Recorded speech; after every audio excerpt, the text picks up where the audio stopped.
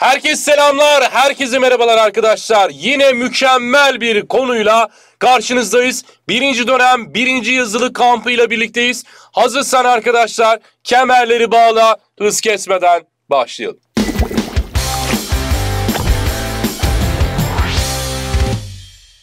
Şimdi ilk olarak konularımıza bakacağız, öğrenci notlarımıza bakacağız. Birinci ünitemiz yerleşme ve devletleşme sürecinde Selçuklu Türkiye'si ve bu süreç içerisinde yaşanan siyasi olaylara bakacağız ilk önce.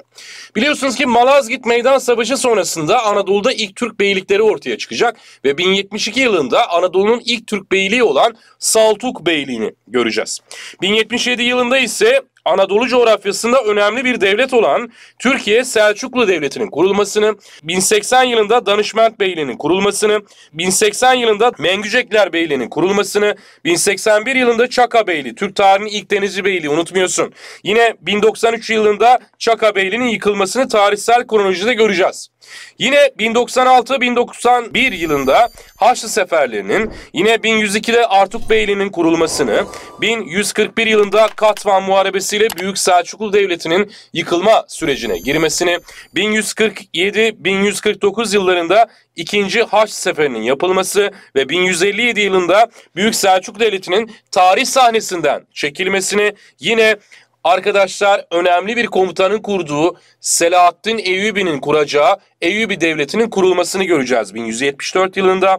Yine 1176 yılında Mirya Kefalon Muharebesi'nin gerçekleşmesiyle artık Anadolu'nun ebedi Türk yurdu haline gelmesini göreceğiz. Yine 1178 yılında Danışment Beyliği'nin yıkılmasını, yine 1189-1192 yılında 3. Haç Seferi'ni, 1196 yılında Moğol İmparatorluğu'nun kurulmasını, yine 1202 yılında Saltuklu Beyliği'nin yıkılmasını, yine 1202-1204 yılında 4. Haç Seferi'nin gerçekleşmesini ve 1227 yılında da Moğol İmparatorluğu'nun parçalanarak 1228 yılında da Mengücek Beyliği'nin yıkılmasını ele alacağız.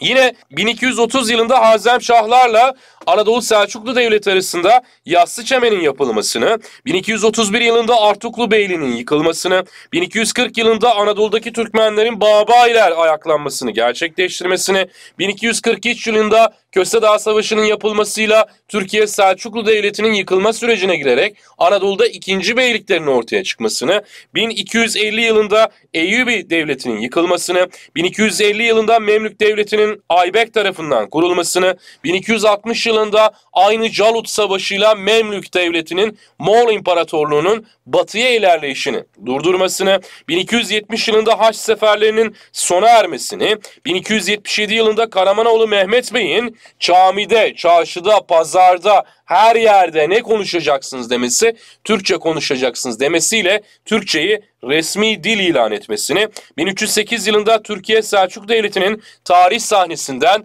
çekilmesini ele alacağız. Şimdi gelelim arkadaşlar Anadolu'ya ilk Türk göçleri nasıl gerçekleşti? Şimdi unutmamanı istiyorum. Anadolu'ya ilk Türk göçlerini gerçekleştiren Avrupa Hunlarıdır. Ama Avrupa Hunları yiyorlar, içiyorlar arkadaşlar ama burayı vatan yapma gibi bir gereksinimleri görmüyorlar.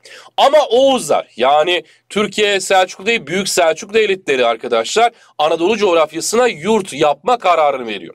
Büyük Selçuk Bey'in torunları Tuğrul Bey ve Çağrı Bey kardeşler Oğuz Türklerine daha elverişli yerler bulabilmek için Anadolu'ya keşifler düzenlemeye karar verdiler. Bakın unutmayın ilk Anadolu'ya yapacağımız keşif Pasinler Savaşı, daha sonrasında Anadolu'nun kapısını açacağım Malazgirt, ve tabii ki Anadolu'nun yurt haline getireceğim savaş ise Mirya Kefelon Savaşı olarak ne yapacağız bileceksiniz. Yine Anadolu'ya arkadaşlar 11. yüzyılda yapılan ilk akınlar yerleşmeden ziyade daha çok keşfet ganimet elde etme amacıyı taşımaktaydı. Hatırla kim yapıyordu dedik bunu? Avrupa Hunları yapmıştı ama Avrupa Hunları burayı vatan yapma gibi bir gereksinim görmediler. Ama Oğuz Türkleri Anadolu coğrafyasını yurt yapmak için elinden gelen her şeyi yaptılar. Peki Oğuzlar neden Anadolu'ya akınlar düzenledi? Bir, Avrupa'nın İpek yolu yani daha doğrusu Anadolu'nun İpek yolu üzerinde yer alması. Çünkü düşünün Orta Asya bölgesinde ilk Türk devletlerinin en büyük mücadelelerinden bir tanesi Çinlilerle Orta Asya'da İpek yoluna hakim olma düşüncesi vardı. Yine Anadolu'da arkadaşlar Trabzon, İstanbul gibi bölge İpek yolunun önemli bir güzergahı olması.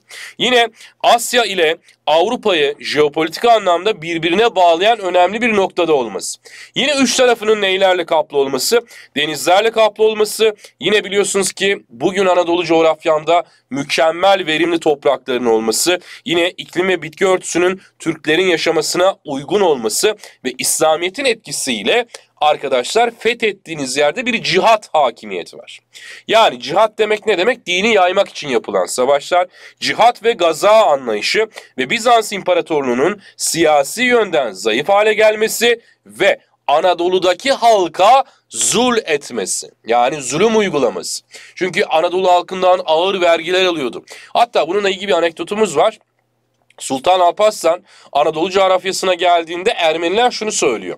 Diyor ki Anadolu'da arkadaşlar hiç değilse Bizans görmektense Müslüman görmeyi yeğleriz diyecekler ve aslında e, Anadolu'da Türklerin gelmesine karşı çıkmayacaklar. Bu da Anadolu'nun fethedilmesini kolaylaştıran unsurlar içerisinde yer alacak.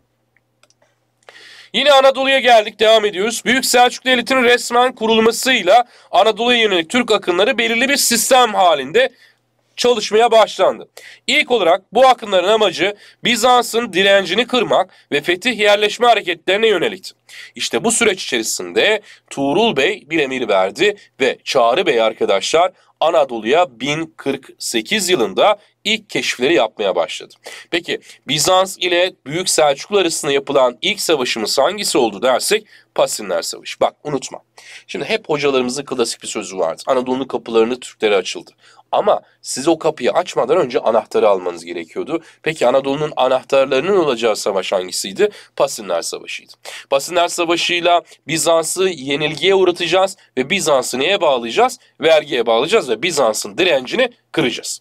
Tarihler 1071 yılını gösterdiğinde Sultan Alparslan Kars'ın Ani Kalesi'ni almış ve Abbas halifesi tarafından da Ebul Fetih ünvanını almıştır. Yani fetihlerin babası ünvanını alacak. Akabinde Sultan Alparslan 1071 yılında Malazgirt Ovası'na geldiğinde Anadolu'daki beyliklerine şunu söyledi. Ya Anadolu bizim gelinliğimiz ya da Anadolu bizim kefenimiz olacak. Yani ya biz burada düğün düzenleyeceğiz, mutlu bir şenlik yapacağız ya da burası bize mezar olacak dedi. Nitekim Bizans'ı ağır bir yenilgiye uğratan Sultan Alparslan Bizans tarihinde ise ilk kez bir Bizans hükümdarı olan Roman Diyojen'i tutsak etti. Malazgirt Savaşı'ndan sonra kurulan ilk Türk beylikleri ve Türkiye Selçukluları ile Anadolu'da Türk hakimiyeti kalıcı hale geldi. Çünkü Anadolu'yu bayındır hale getirdiler. Anadolu'yu arkadaşlar camiler, hanlar, hamamlar, kervansaraylar yaptılar. İslam'ın sentezini o dönemde yaşayan Anadolu halkına, Anadolu irfanını anlattılar. Bu da Anadolu'nun hızlı bir şekilde Müslümanlaşmasını ve Türkleşmesini ne yaptı? Sağladı diyeceğiz. Peki Sultan Alparslan Anadolu'yu fethetmeden önce buradaki komutanlarına ne dedi? Fethettiğiniz yer sizin kılıç hakkınızdır. Bunun üzerine Anadolu'ya gelecek olan komutanlar Anadolu'yu hızlı bir şekilde fethetmeye çalıştı. Ve bu beyliklerin kendi içlerinde Anadolu'da beylikler kurmaya başladılar. Arkadaşlar kimler diyeceksiniz? Saltuklular, Danışmentliler, Mengücekliler, Artuklar ve Çaka Beyliği Anadolu'da kurulan ilk Türk beylikler içerisinde yer aldı. Şimdi gelelim onları bir açalım birlikte. Malazgirt Savaşı'ndan sonra Anadolu'ya yönelik fetih hareketleri dedik ki hızlandı. Bunda Büyük Selçuklu hükümdarı Alparslan'ı fetihledilen bölgeye komutanla ne hakkı olarak vermesi, kılıç hakkı olarak vermesi etkili oldu. Başlangıçta Büyük Selçuklu'na bağlı olan komutan ve beyler zamanla Büyük Selçuklu Devleti'nin Katvan Savaşı sonrası otoritesinin zayıflamasıyla bağımsız hareket etmeye başladılar. Peki Anadolu'daki beyliklerim kimlerdi? Saltuklar 1072-1202 tarihlerinde Beylik'in merkezini Erzurum'da kurdular. Ve Anadolu'da kurulan ilk beylik olarak ne yapmanız lazım bilmeniz gerekiyor. Kurucusu Alparslan'ın komutanlarından Ebul Kasım Saltuk'tur. Gürcülerle mücadele edecekler ve Haç seferleri esnasında Türkiye Selçuklu Devleti'ne destek vermişlerdir. Çok garip değil mi? Mesela bunlar arkadaşlar kendi aralarında Türkiye Selçuklu ile Saltuklular mücadele içerisinde ama Haçlı seferleri gerçekleştiğinde birbirlerine destek atmışlar. Peki bunun sebebi ne? Çünkü şu. Bakın bizde cihat anlayışı var. Din için yapılan savaşlar var. Bu da insanları ne yapmıştır? Beylikleri ya da devletleri kenetlemiştir. Bundan dolayı da birbirlerine ne yapmışlardır? Destek vermişlerdir diyeceksiniz.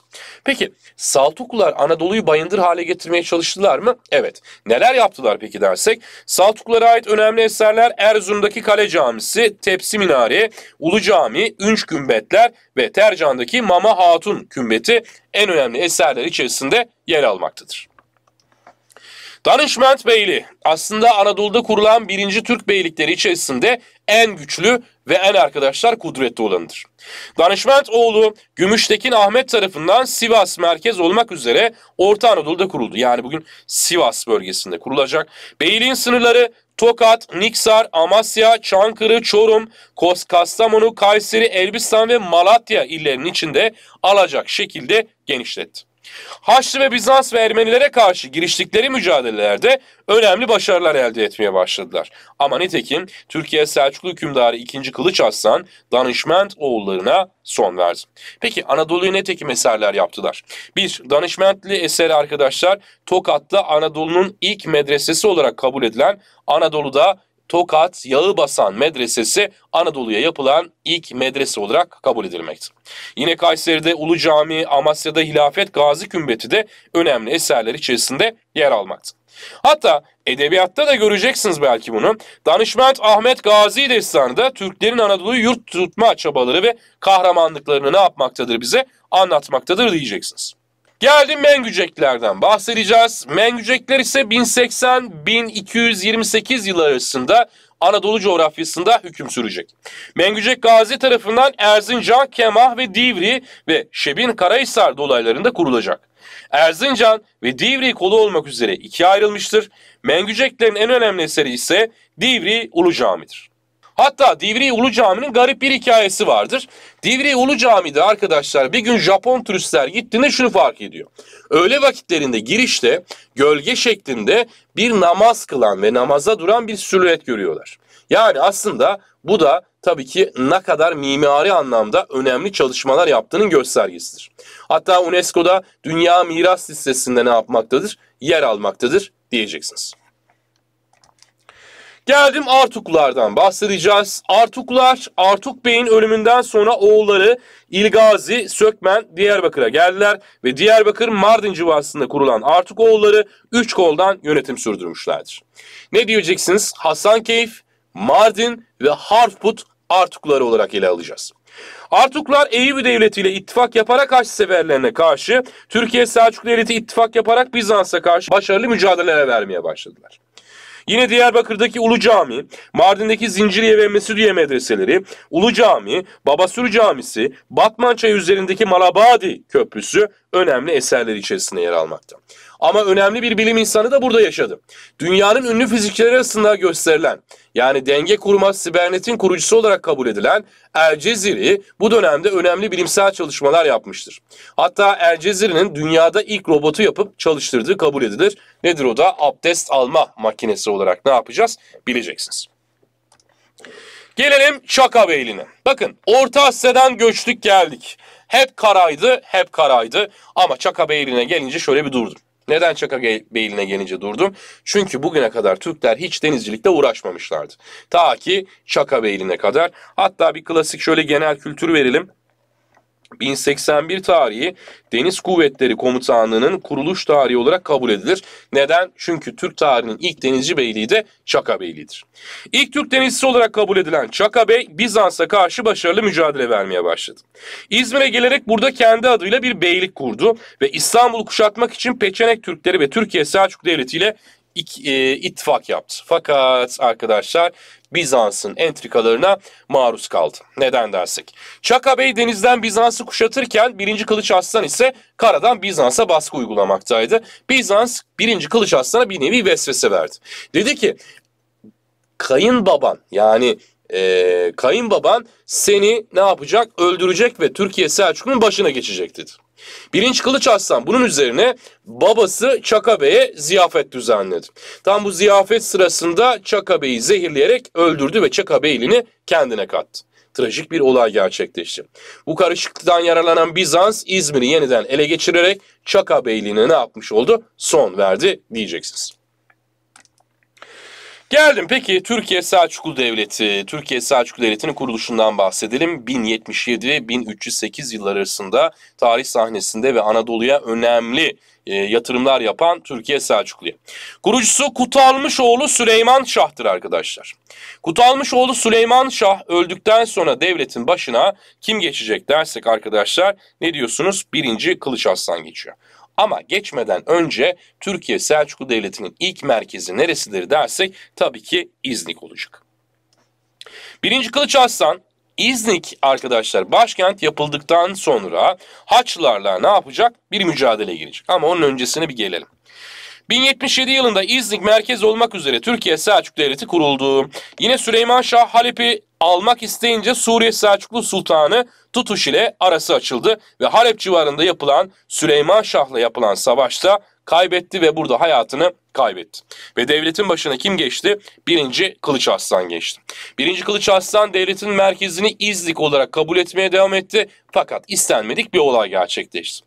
Birinci Haçlı Seferi'nde arkadaşlar ağır bir yenilgi aldı ve dedi ki Konya yolundayım Konya dedi. Yani merkez İznik'ten nereye taşıdı? Konya'ya taşıdı ve Türkiye Selçuklu Devleti yıkılana kadar devletin merkezi Konya oldu. Konya arkadaşlar bizim için önemli bir nokta.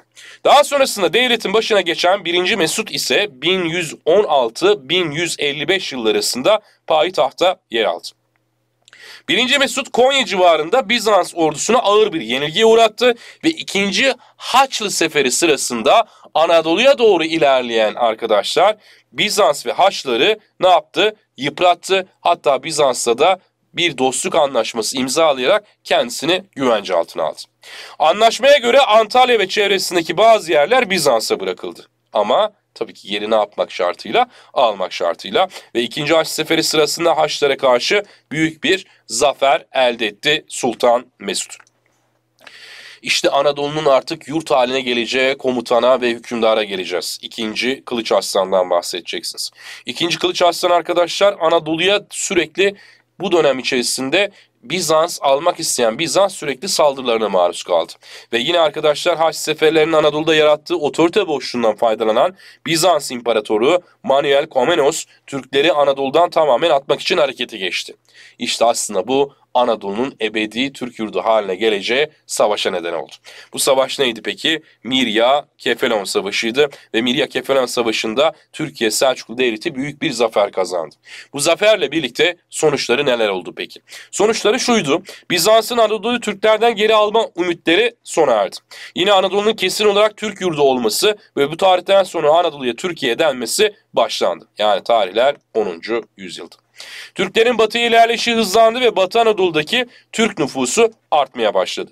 Yine Anadolu'daki ticaret yollarının denetimi büyük ölçüde Türkiye Selçuklu Devleti'ne geçti ve artık Bizans savunma stratejisine geçti. Ta ki 1453 yılına kadar Fatih Sultan Mehmet İstanbul'u fethedene kadar diyeceksiniz.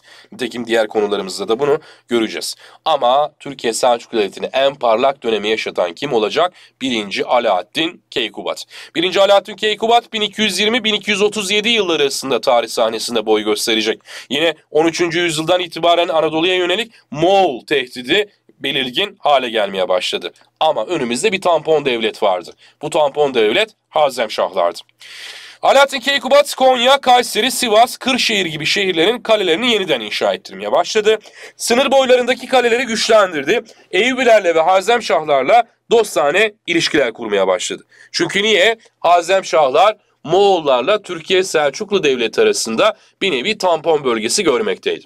Ancak Harzemşah hükümdarı Celalettin Harzemşah Ahlat'ı işgal edip yine Sivas'a doğru ilerleyince bu yüzden ittifak bozuldu. Alaaddin Keykubat ile Hazemşah Devleti üzerine yürümeye başladı. Ve tarihler Yassı Çemen Savaşı'nı göstermekteydi. Yassı Çemen Savaşı'nda Türkiye Selçuklu büyük bir zafer kazandı. Aslında bu Hazemşahların yıkılması demekti. Hazemşahlar yıkıldı ve Anadolu'da arkadaşlar bir sıkıntı ortaya çıktı. Nedir dersek eğer Moğol tehlikesi. Bakın şöyle haritada şöyle çizerek anlatmaya çalışayım size. Daha net kafanızda şöyle otursun. Hemen şöyle Türkiye haritasını çizdik. Çizebilmişizdir umarım. Baktığımda şurada Türkiye Selçuklu olsun. Burada arkadaşlar Hazemşahlar. Burada ise kimleri göreceksiniz? Moğolları göreceğiz. Şimdi Moğollar arkadaşlar Türkiye Selçuklu ile komşu değil. Tampon bölgemiz kim? Hazemşahlar. Hazemşahlarla yapılan Yassı Çemen Savaşı sonrasında Türkiye Selçuklu Devleti Hazemşahları ortadan kaldırdı. Kaldırmasıyla birlikte tabii ki Anadolu'da ne ortaya çıktı dersek tabii ki arkadaşlar Moğol tehlikesi ortaya çıktı. Çünkü biz Moğollarla ne olduk arkadaşlar? Komşu haline geldik. Ama Moğollar bize saldırmadı. Sebep ne? Çünkü Türkiye Selçuklu'nun zirve dönemi olduğunu biliyordu. Bu yüzden saldırmadılar ve sadece izlediler. Alaaddin Keykubat bir ziyafet sırasında zehirlendi ve öldürüldü. Öldürüldükten sonra yerine oğlu 2. Gıyasettin Keyhüsrev geçti. Aslında bu Anadolu coğrafyası ve Türkiye Selçuklu Devleti için sıkıntılı bir dönemdi. Çünkü bu dönemde bir vezirimiz vardı. Vezir Saadettin Köpek. Saadettin Köpek öyle hırslı bir kişiydi ki devletin başına geçmek istedi. Ama hatırlayın ülke hanedanın ortak malıydı. Nasıl geçecektiniz? Şu vesveseyi vermeye başladı. Ben ikinci Kılıç Aslan'ın gayrimeşru çocuğuyum dedi. Saray inin inin inlemekteydi ve ortalık karışıktı. İkinci Gıyasettin bir karar verdi. Saadettin köpeği öldürecekti. Nitekim Saadettin köpeği öldürdü. Ama işte tam bu esnada Anadolu'daki Türkmenler ağır ekonomik şartlardan dolayı isyan ettiler. Peki Anadolu'da isyan edecekleri bu isyana ne diyeceğiz biz? Babailer ya da Baba İshak neyi diyeceksiniz? İsyanı diyeceğiz. Baba İshak isyanı Anadolu'da çıkan ilk Türkmen isyanıdır. İşte 2. Gıyasettin Keyhüsrev bu isyanı zar zor bastırdı. Hatırlayın Moğollar bizi ne yapmaktaydı? İzlemekteydi. İşte Moğollar o esnada şunu anladılar. Dediler ki evet demek ki Türkiye Selçuklu Devleti çok da güçlü bir devlet değil. Ne yapabiliriz? Saldırabiliriz. İşte savaş 1243 tarihini gösteriyordu. Savaşımız ise Kösedağ Savaşı olacaktı. Kösedağ Savaşı'nda 2. Gıyasettin Keyhüsrev ağır bir yenilgi almıştı. Hatta öyle bir durum oldu ki 2. Gıyasettin ordusunu bırakarak Konya'ya kaçtı. İşte bu ordunun tamamen dağılmasını ve Moğolların arkadaşlar Anadolu'yu istila etmesine sebep oldu. Kösedağ Savaşı ile birlikte Türkiye Selçuk Devleti dağılma sürecine girdi. Yine Selçuklarda taht kavgaları arttı ve Moğollar istediklerini tahta çıkartmaya başladılar. Böylece Türkiye Selçuk Devleti ile Moğolların egemenliğine girmiş oldu. Merkezi otoritenin bozulması üzerine birçok Türk beyliği ortaya çıktı. Yine Anadolu'nun yağmalanarak tahrip edilmesi tarımsal üretimi düşürdü ve ticaret yollarının güvenliğinin kalmadığından ticari faaliyetler azaldı. Moğol tehlikesinden kurtulmak isteyen birçok Türkmen boyu Batı Anadolu'yu göç ederek buraların Türkleşmesini ne yaptı? Sağladı. İşte o süreç içerisinde bir çınar ağacı ortaya çıkacaktı. O çınar ağacı ise tabii ki Osmanlı Beyliği'ydi. Onu da ilerleyen zamanlarda ele alacağız. Hükümdarların arkadaşlar gelelim neyden bahsedeceğiz? Türkiye Selçuklularında devlet yönetiminden bahsedeceğiz. Peki Türkiye Selçuklu Devleti'nde devlet yönetimi nasıldı? Türkiye Selçuklu Devleti aslında kendisini kimi örnek alarak devam etti? Büyük Selçuklu Devleti'nin idari yapısını ve ordu teşkilatını örnek aldı. Devletin başında Selçuklu ailesine gelen bir kişiye ne yapıyoruz biz? Sultan bulunmaktaydı. Sultan ünvanının yanında hükümdarlar Keyhüsrev, Keykavus, Keykubat gibi farklı ünvanlar kullanmaya başladılar. Demek ki Türkiye Selçuklu kimin etkisinde kaldı? Fars'ın etkisinde ne yaptı? Diyorsunuz arkadaşlar kaldı diyeceğiz. Yine hükümdar yani devlet hükümdar ailesinin ortak malıydı. Hatırlayın ilk Türk devletlerinin itibaren kavram bu. Ta ki Osmanlı Devleti'nde 1. Murat'a kadar. Peki hükümdar ailesinin ortak malıysa bu sürekli neye sebep olacak arkadaşlar? Taht kavgalarına bu da devleti nasıl ömürlü kılar genelde? Kısa ömürlü ne yapmıştır? Kıldı. Devlet işlerinin görüşüldüğü yeri divanı saltanat ya da diğer isminde büyük divan olarak ele alacaktık. Her türlü konu divanda değerlendirerek karara ne yapılırdı? Bağlanırdı. Hükümdarların çocuklarına ise şehzade denir. Şehzadeler devlet tecrübesi kazanmaları amacıyla vilayetlere gönderirlerdi. Peki bunların eğitmenleri kimdir dersek unutmuyorsunuz Atabey Osmanlı Devleti'nde ise buna Lala ismi verecektik. Ülkeyi idari yönden eyaletlere ayırır. Eyaletlerin başına ise emir adı verilen askeri valiler atanırdı. Önemli eyaletlerde şehzadeler melik ünvanıyla atanır ve şehirlerin güvenliğinden ise subaşılar sorumlu olurdu. Bizans Ermeni sınır bölgelerinde ise uç beyleri yönetir. Uç beyleri sınırları korumanın yanında düşman ülkelere akınlar düzenler, sultan ile sefere çıkarlardı. İlk dönem hedefin yazılılardan yüksek not almaksa kitabın yazılı notları demektir. Yazılıda karşına çıkabilecek önemli kavramlar, hocanın soru sorabileceği kilit noktalar hepsi 10. sınıf yazılı notlarının içinde. Hem de tüm derslerle birlikte.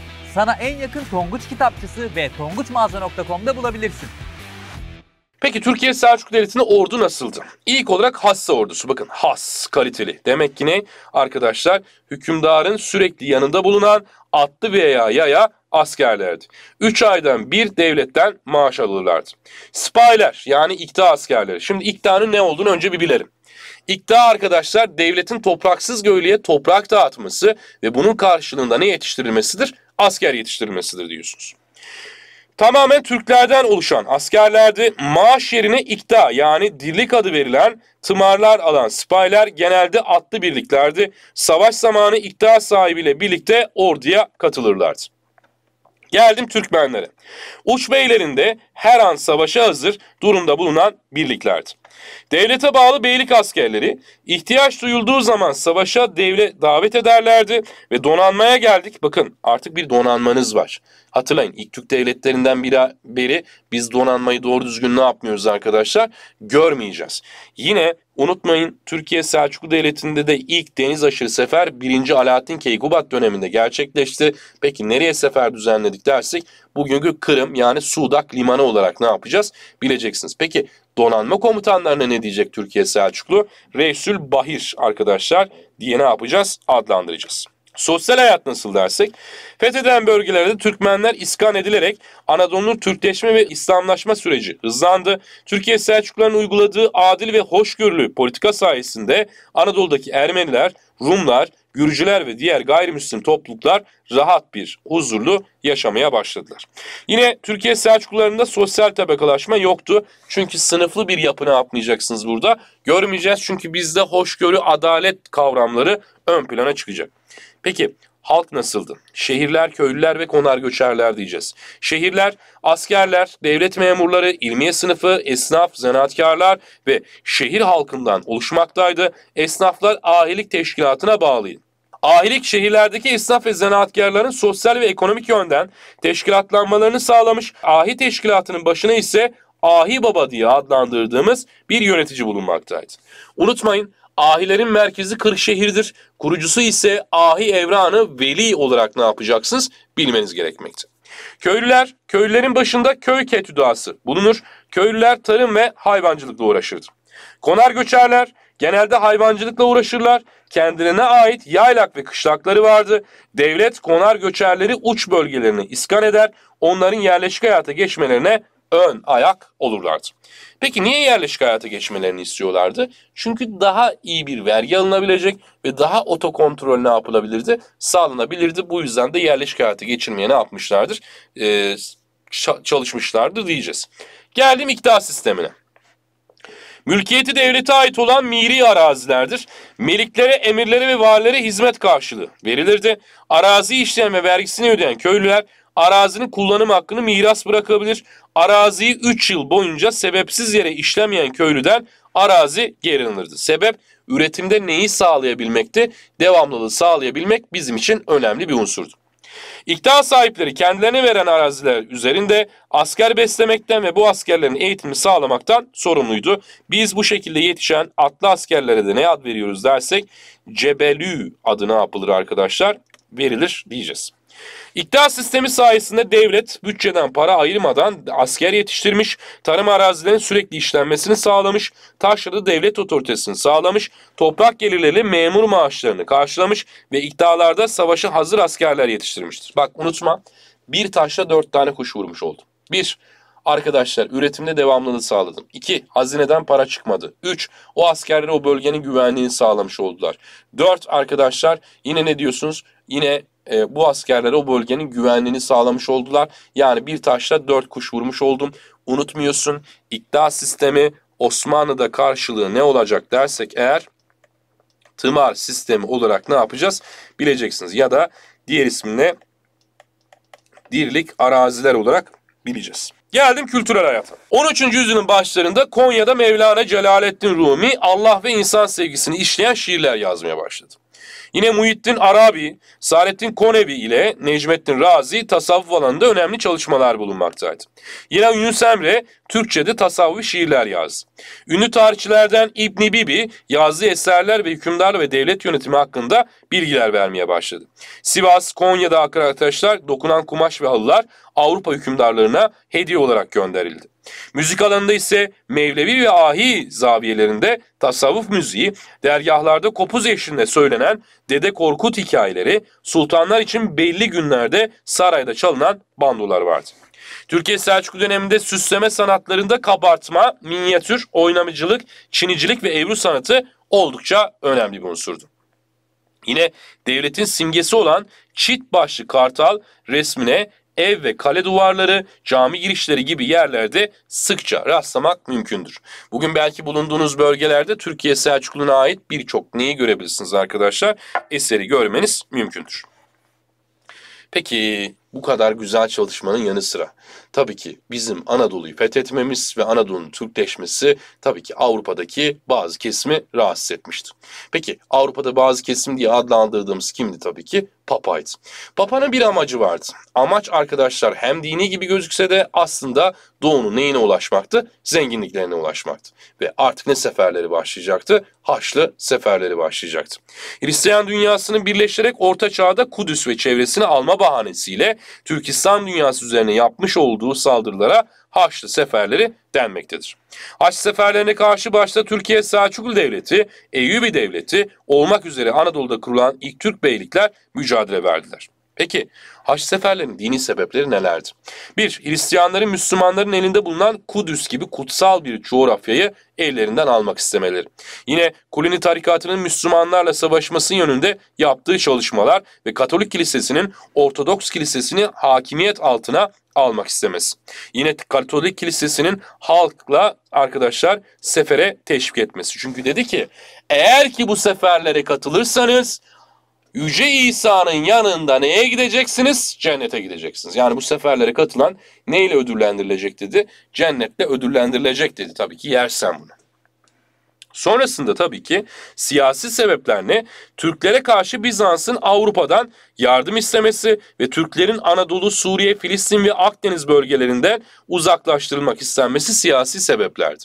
Peki ekonomik sebepler neydi? Avrupalıların doğunun zenginliklerine geçirmek istemesi. Bakın unutmayın. Bugünkü Avrupa ile Orta Çağ'daki Avrupa aynı değil. Orta Çağ'daki Avrupa yoksul, aç, fakir arkadaşlar yiyecek ekmek bulamıyorlar. Ama Doğu tam tersi arkadaşlar. Doğu zengin, refah içinde, insanlar mükemmel durumdalar. İşte bunu gören batıdaki arkadaşlar kişiler nereye ele geçirmek istediler?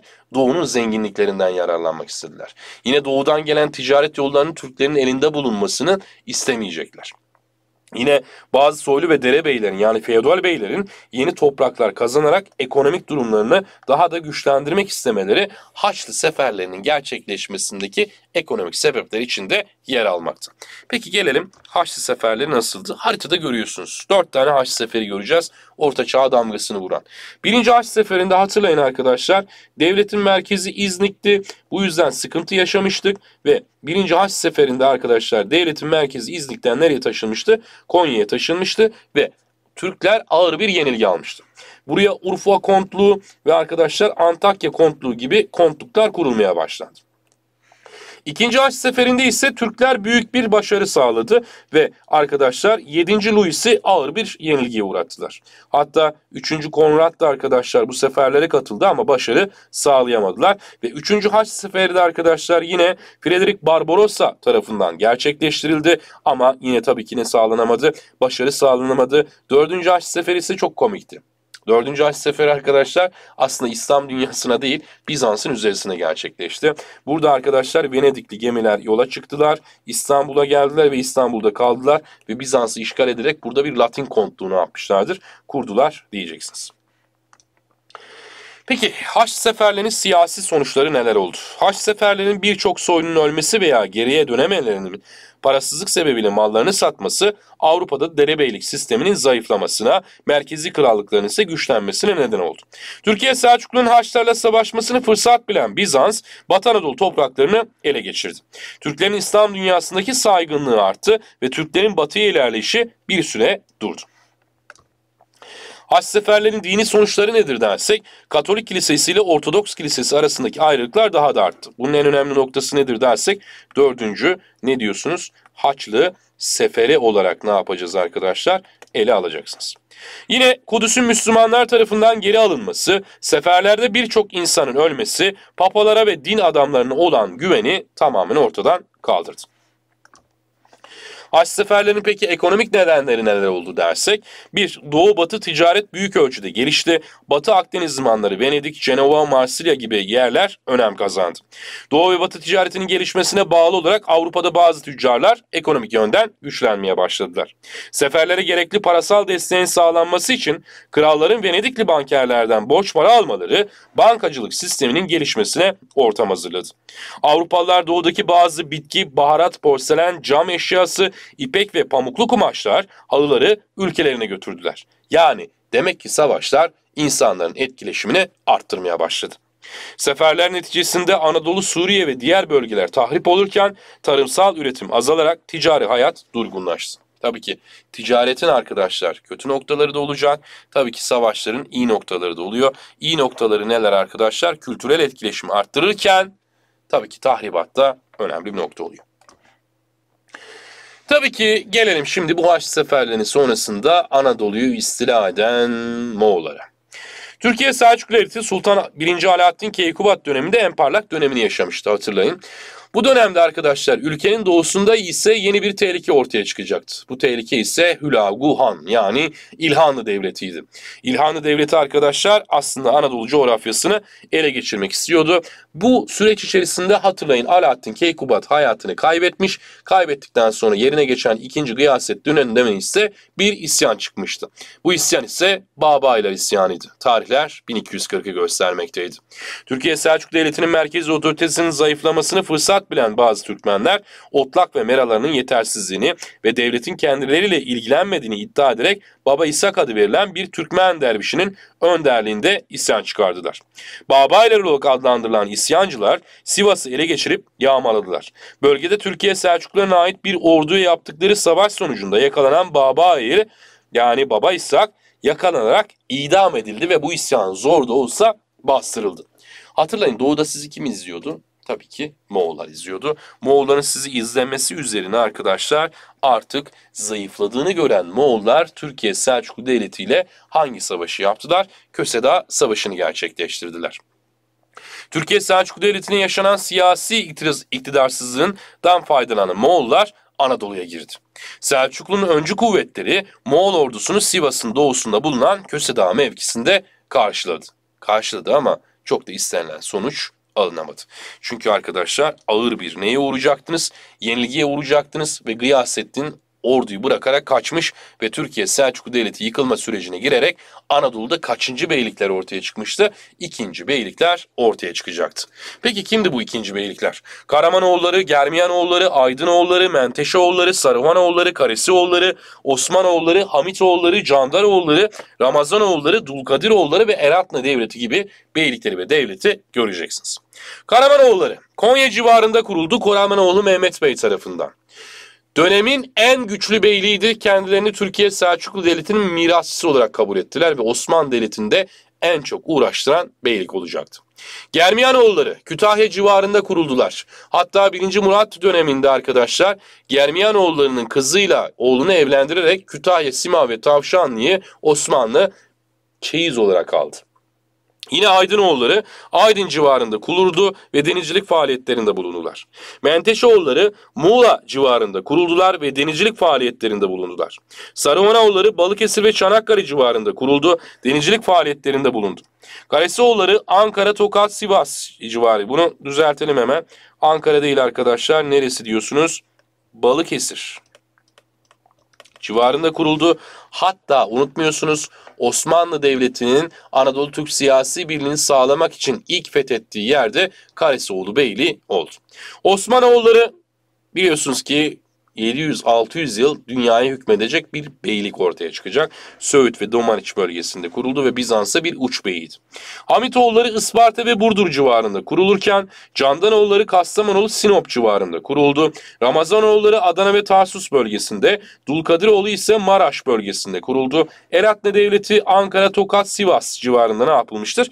Kuruldu diyeceksiniz. Şimdi gelelim arkadaşlar yazılımıza geçelim. Konuları tek tek işledik. Neyin ne olduğunu anladığınızı düşünüyorum. Şimdi yazılıya gelelim bakalım tıkır tıkır cevaplarımızı neler vereceğiz.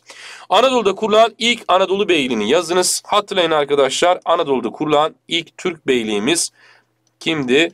Saltuklular olarak ne yapacağız? Ele alacağız. Bak şimdi unutma ben size bir kod vereceğim. Çok sevdiğimiz bir arkadaşımız var. Bu arkadaşımız kim dersek tabii ki Samet diyeceksiniz. Samet'e de diyeceğim ki çak bir beşlik diyeceğim. Bak Samet'e diyeceğim ki Samet arkadaşlar çak bir beşlik diyeceğiz. Şimdi o zaman bak unutma Saltuk, Artuk, Mengücek, Danışment ve hangi beylik? Çaka Beyli. Şimdi sana hocan sordu sınavda. Dedi ki Anadolu'da kurulan ilk beylik. Aklına hemen kim gelsin? Samet gelsin. O zaman demek ki Anadolu'da kurulan ilk beyliğimiz de kimdir? Saltuklular olarak ne yapacağız? Ele alacaksın. Türkiye Selçuklu Devleti'nin ilk merkezini yazınız. Hatırlayın arkadaşlar devletin ilk merkezi neresiydi? İznik'ti. İznik ilk olarak Süleyman Şah tarafından kurulmuş. Daha sonrasında arkadaşlar 1. Kılıç Arslan Haçlara yaptığı seferler sonrasında yenilgiyle birlikte devletin merkezini İznik'ten nereye taşımıştı? Konya bölgesini taşımıştı. Ama sana neyi sormuş? İlk merkezini sormuş. O yüzden de neresi diyeceksin? İznik olarak ele alacağız. Anadolu'nun Türk yurdu olmasını kolaylaştıran nedenlerden 3 tanesini yazınız arkadaşlar. Birincisi hangi hak diyorsunuz? Kılıç hakkımız var. Yine hatırlayın Bizans'ın neyinin zayıflaması? Otoritesinin ne olması? Zayıflaması. Yine arkadaşlar unutmuyorsunuz. Şunu söyleyeceğiz. Anadolu halkının Bizans'tan ne yapması? Bıkması yine Anadolu'nun Türkleşmesini ve Türk yurdu olmasını kolaylaştıran unsurlar. Bir de unutmayın şunu da ekleyelim. Hoşgörülü ne izliyoruz? Politika bizim için önemli. Haçların elinden Kudüs'ü alan komutan kimdir? Hatırla arkadaşlar kim diyeceksiniz? Selahaddin kim diyoruz? Eyyubi olarak ele alacağız. Hatta Haçlardan ele aldığı savaşın adı nedir dersek de Hıddin Savaşı olarak ne yapıyorsunuz bileceksiniz. Anadolu Selçuklu Devleti ile Harzemşahlar arasında yapılan savaş hangisidir? Hemen bunu haritada çizerek göstermek istiyorum aslında size. Hemen şuraya arkadaşlar ne yazdım? Türkiye Selçuklu. Şöyle yaptım. Harzemşahlar. Ve kimler dediniz? Moğollar dedik. Şimdi arkadaşlar Türkiye Selçuklu Devleti ile Harzemşahlar arasında yapılan savaş hangisiydi? Yassı Çemen Savaşı'ydı. Yani cevabımız Yassı Çemen olacaktı. Kim ortadan kalkıyordu? Hazemşahlar ortadan kalkıyordu. Hocan sana şu şekilde sorabilir. Hazemşahlarla yapılan Yassı Çemen sonrasında Anadolu'da nasıl bir durum ortaya çıktı derse de Anadolu'da ne tehlikesi baş gösterecek? Moğol tehlikesi baş gösteriyor. Çünkü Türkiye Selçuklu ile Moğollar ne haline gelmiştir diyorsunuz? Komşu haline geldi diyeceğiz. Kösedağ Savaşı'ndan sonra Anadolu'daki sosyal ve ekonomik durumu yazınız demiş arkadaşlar. Hemen diyoruz ki Anadolu'da arkadaşlar siyasi neyimiz bozuldu? Birlik bozuldu. Bu birinci unsur. İki arkadaşlar Anadolu'daki birçok Türkmen nereye göç etti? Batıya ne yaptı? Göç etti. Yine arkadaşlar unutmuyorsunuz. Moğolların zulmü ne yaptı? Başladı diyeceğiz. Türkiye Selçuklu Devleti'nde Anadolu'da Türklerin çıkarttığı isyanın adını yazınız. Bakın Anadolu'da çıkan ilk Türkmen isyanı. Biz buna ne diyorduk arkadaşlar? Babailer ayaklanması ya da baba ne diyeceğiz? İshak ne diyorsunuz? İsyanı olarak ne yapmam lazım? Bilmem gerekiyor. Türklerin ilk denizci beyliğini yazınız. Bak yine söylüyorum. Samet diyeceğiz. Hatırla. Ne yaptı? Çak demiştim. Samet Çak dedik. O zaman arkadaşlar bak Saltuk ilk beyliğimizde ilk denizci beylik. O yüzden bak dışarı çıkarttım farkındaysanız. O zaman hangi beyliğimiz diyeceksiniz? Çaka Beyliği de Anadolu'da yani ve Türk tarihinde ilk kurulan denizci beyliğimlik olarak ne yapılmakta? Bilinmekte. Hangi savaştan sonra Türkiye Selçuklu Devleti ile İlhanlılar sınır haline gelmiş ve Anadolu'da Moğol tehlikesi ortaya çıkmıştır. Hatırla arkadaşlar bakın bunu haritada daha yeni çizdim. Bunu da yekten söyleyeceğinize inanıyorum. Arkadaşlar hangisi diyoruz? Yassı Çemen Savaşı değil mi? Yani doğru cevabımız E şıkkı olarak ne yapacağız bileceksiniz. Unutmayın hemen şunları da açalım böyle birlikte. Bir unutmuyorsunuz Moğollarla kimler arasında yapılıyor? Memlük arasında yapılacak ve Anadolu'daki Moğol zulmü Binavuzus'un ne rahatlamıştır. Hıttin Savaşı'yla Selahaddin Ayıbi ne yaptı? Haçlılardan Kudüs'ü aldı dedik. Yine aynı Calut Savaşı Moğolların batıya ilerleyişini ne yaptılar? Memlükler durdurdular. Kösedağ Savaşı ile birlikte Türkiye Selçuklu ne sürecine girdi? Yıkılma sürecine ne yaptı? Girdi diyoruz. Geldim devam ettim. Türkiye Selçuk Devleti'nde sarayda en yüksek görevliye ne ad verilir dersek Hacibül Hüccab yani hacip diyeceksiniz arkadaşlar. O yüzden doğru cevabımızı A şıkkı olarak ele alacağız. Unutmuyorsunuz bunu şekilde ne yapmam lazım bilmem gerekiyor. Atabey Lalaların arkada daha doğrusu kimlerin diyorsunuz? Ee, hükümdarın oğulları olan meliklerin eğitmenleri, Divanı Saltanat devlet işlerinin görüşüldüğü yer, Emrül Bahir Deniz Kuvvetleri Komutanı, Divanı Ala işlerin görüşüldüğü yani halkın dinlendiği yer olarak ne yapacağız? Bileceksiniz. Şimdi gelelim map örnek sorusunun larına bakalım birlikte. Şimdi bakın burada bir harita görüyoruz. Yukarıdaki haritaya bakıldığında Anadolu'nun siyasi durumu hakkında neler söylenebilir? Bak bir şöyle bir haritaya gözden bir geçir. Baktığım zaman Saltuk var, Mengücek var, Danışment var, Türkiye Selçuklu var. İzmir'de Çakabeyliği var. Artukları görüyoruz arkadaşlar. Yani parça pünçük değil mi Anadolu? O zaman yekten söyleyeceğin şey şu. Anadolu'da Türk siyasi birliği nedir? Yoktur diyeceksin. Aklına direkt yekten ne yapacak? Bu gelecek. Çünkü baktığım zaman bir merkez ya da bir birlik ne yapmıyorsunuz burada? Görmeyeceksiniz. Geldim. Danışmentler Türkiye Selçuklu ile birlikte Bizans ve Haçlılara karşı başarılı mücadelede bulunmuşlardır. Birinci Kılıç Arslan'ın ölümüyle Anadolu'da liderliği danışmentlere geçmişse de ikinci Kılıç Arslan döneminde tekrar eski gücüne kavuşan Türkiye Selçukluları bu beyliğe ne yapmıştır? Son vermiştir. Danışment Ahmet Gazi ve Melik Gazi'nin Bizans, Haçlı ve Ermenilere karşı mücadelelerini, kahramanlıklarını anlatan Danışmentname destanı bu dönemde şekillenmiştir. Danışmentlerin Anadolu topraklarını egemenlik kurma konusunda Türkiye Selçuklu Devleti ile mücadele halindeyken ve Bizans ve Haçlılara karşı Türkiye Selçuklu Devleti ile birlikte hareket etmesinin nedeni ne olabilir demiş. Hatırlayın arkadaşlar. Biz Müslümanız. Danışmentler Müslüman, Türkiye Selçuklular Müslüman ama kime karşı birlikte mücadele etmişsiniz? Haçlara karşı mücadele etmişsiniz. Yani aslında burada bir ne düşüncesi var dersek cihat ve gaza düşüncesi bu devletlerin ve beyliklerin ne kadar düşman olsa da beraber birlikte hareket etmelerini sağlayan en önemli unsur olarak ne yapılmakta? Görülmekte diyeceksiniz. Geldim bir diğer sorumuza. Moğol istilası nedeniyle Türkmenler Anadolu Suriye sınırına yerleşerek büyük topluluklar oluşturmaktaydı. Bu tarihlerde İslam'ı tam özümseyememiş Samanist inancın etkisiyle sürdüren Türkmenler daha ziyade Adıyaman ve Maraş çevrelerinde kendilerini yurt tutmaktaydı. Böyle bir ortamda meydana çıkan Baba İshak bu bölgede dini, siyasi ve sosyal tesirleri kullanarak peygamberlik iddiasında bulunmakta ve Türkmenleri etrafında toplamaktaydı. Adıyaman civarındayken İzni'yi kaybettiren Baba İshak kısa bir süre sonra Amasya'nın Çat köyünden ortaya çıktı.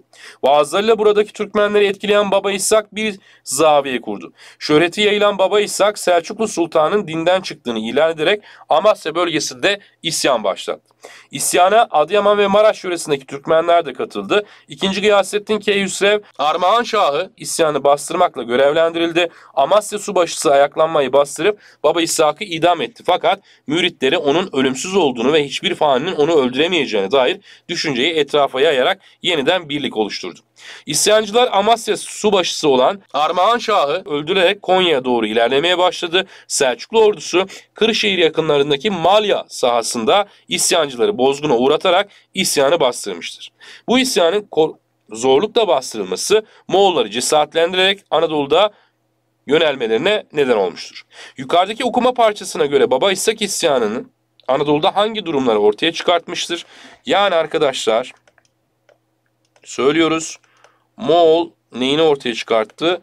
Tehlikesini ne yaptı? Ortaya çıkarttı.